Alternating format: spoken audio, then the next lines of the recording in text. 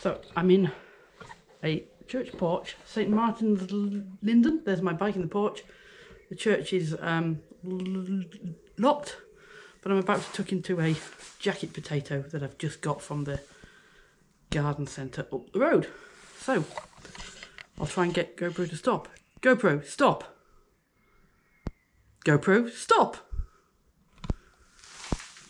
Obviously not.